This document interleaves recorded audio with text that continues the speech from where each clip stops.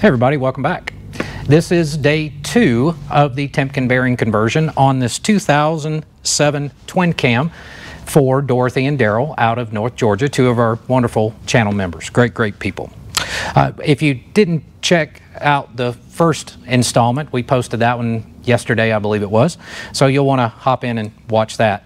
Today we're going to finish up. We're going to press the Timken bearing sleeve in and then uh, pop the crank in and then we'll check bearing in place. So stick with us.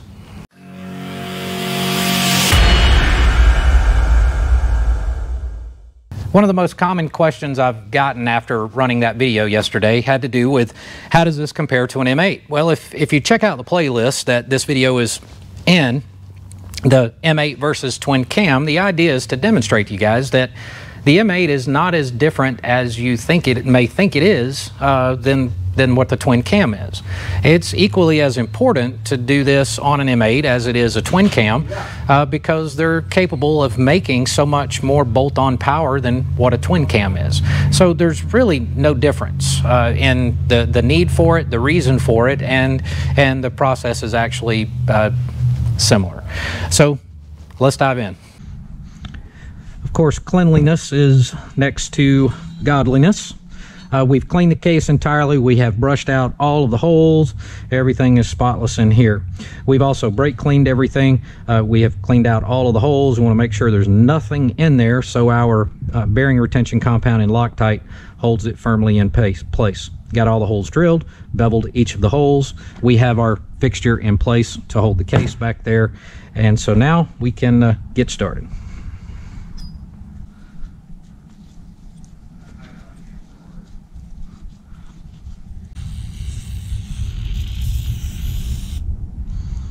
This is press fit lubricant on this area here.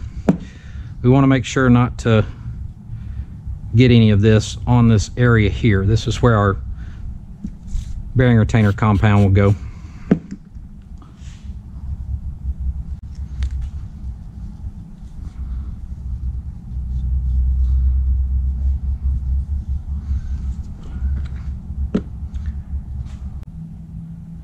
You don't have to use too much of this stuff. It's extremely extremely strong. It goes a long way. What what comes in the in the kit, this amount right here is is plenty to do the sleeve and, and also all the, the screws that secure this into place.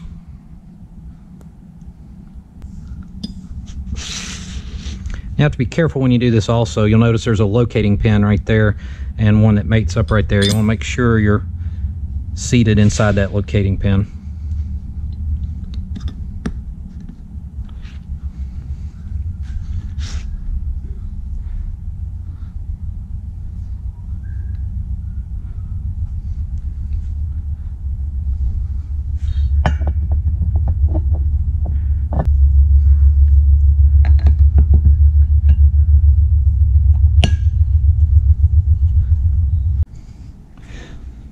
You got to remember this, you know, this piece is precision ground and machined to within a tenth of a thou.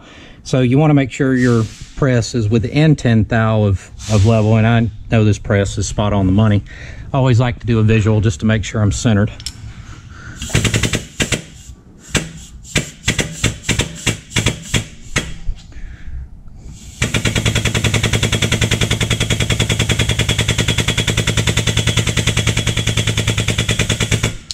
I always like to relieve the pressure. And let's go back at it again. To make sure this is seated all the way, you want to press this into between two to 4,000 pounds. So we're going to go to 3,000 pounds. And we're there.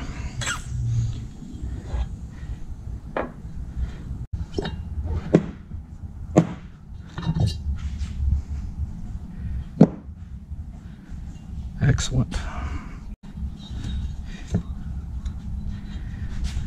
Just want to confirm that we're seated all the way around. And we are. It looks fantastic.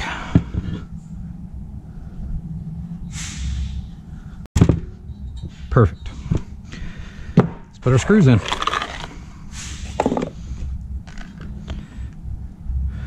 I also like to apply a little bit of this to where the the taper of the screw itself will be mating against the sleeve. Just another little bit of added protection there.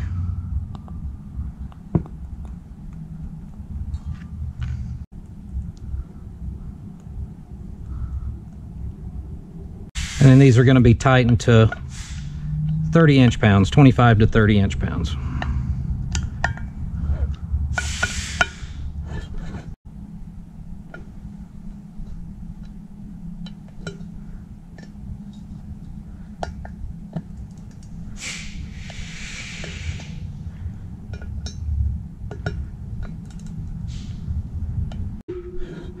Can remove this. Now we can install the bearing races. We'll use a little bit of press fit lube.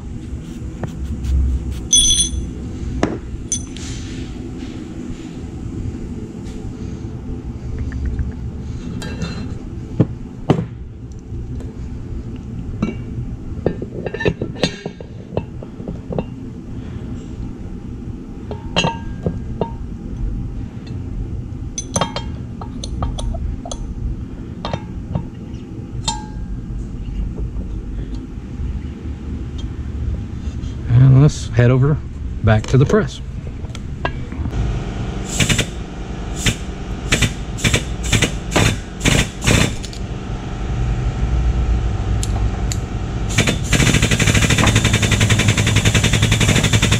Now we can install the race for the opposite side.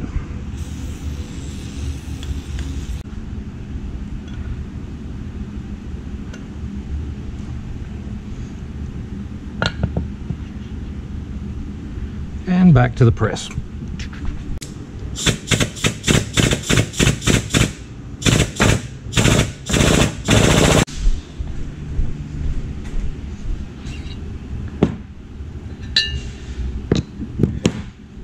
Okay, you can see both of the bearing races are pressed into place.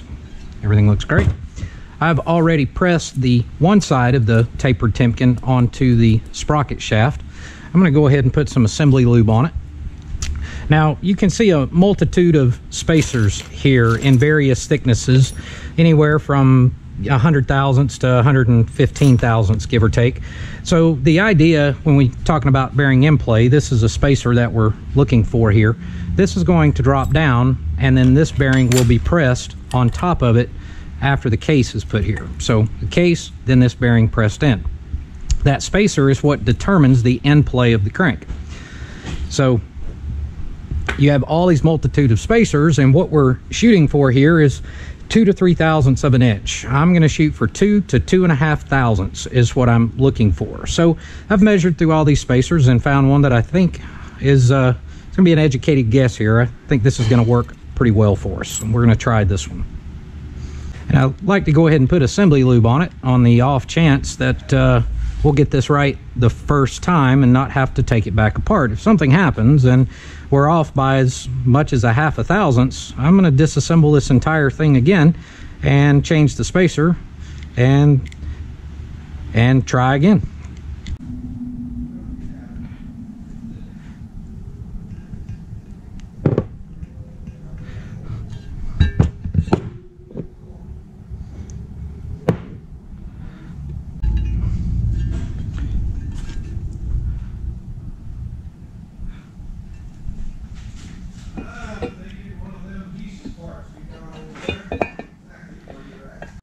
We'll lube this bearing.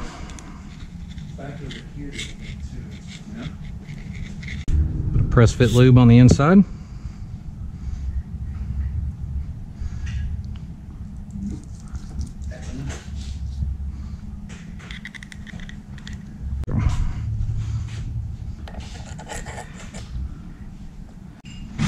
Now, let's head over the press and press it together.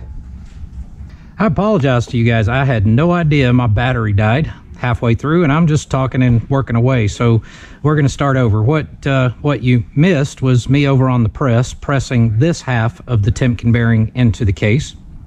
Then I've also installed this steel plate over here so that I have a rigid structure for my mag base. And then I'm I've set up a dial indicator here on the end of the end of the sprocket shaft And the idea is to check this end play. I want to see how much axial movement the case has. And we're, again, with that spacer, we're adjusting with the spacer, we're the, separating the bearings and adjusting the distance between the two. So my goal here is to have two thousandths as my target. Uh, the motor company says you can go up to two three more thousandths more than that, but we're not going to do that. So my goal is to be at two thousandths with a half a thou tolerance. So I don't want to see any more than two and a half thousandths uh, on this. Now, if we are we if it's not at two and a half two to two and a half thousandths, then we will have to press this flywheel assembly back out of the case to re- remove the bearing, change the spacer, put another spacer in, and repeat this process until we get it right. So we hope we get it right the first time. This is a half thousandths indicator, and I have it set on zero, so I'm going to lift up on the case slightly. And let's see where we're at. That's one, two, we are at two and a half thousandths on the money. Let's see, one, two. If I pull up very hard, I'm at two and a half. One.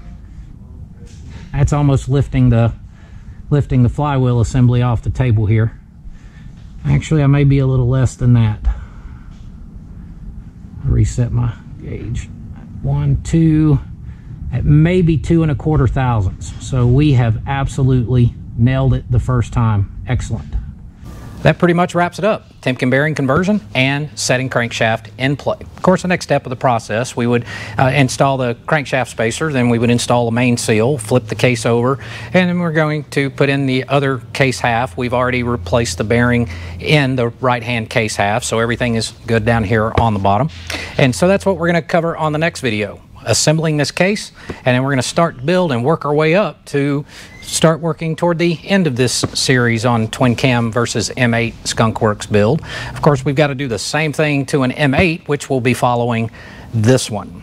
Guys, once again, thanks for watching. Actually, what I've done as part of this Twin Cam and M8 series, I've put them all into a playlist. I'm going to put a link to the playlist somewhere up here so that you can see all the videos that kind of pertain to doing a build like this and blueprinting and what that's all about.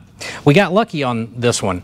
Uh, measuring all the spacers, kind of had a hunch, and we uh, nailed it the first time. If we didn't nail it the first time and get that two to two and a half thousandths, then we would have to repeat the process as if it was, you know, an original Timken case. We would have to press out the flywheel, change the spacer, press it back together, measure it again. It's part of the process that a lot of people don't realize. It's not as simple as pulling parts out of a box when you're blueprinting an engine and bolting things together. Sometimes you have to put things together, take them apart. You may have to do it two or three times to get it just perfect. And that's another reason why fully blueprinted engines built proper cost what they do. Guys, thanks a million. Thank you to all of our channel members for supporting the channel, all the subscribers. I still have that goal, and I'm hoping you guys can help me out with your shares to hit 20,000 subscribers by the end of this month. We're at 19,300 as of right now, so I hope you guys can help me out with that. We'll see you on the next video. Take care of yourselves and each other. Have a good one.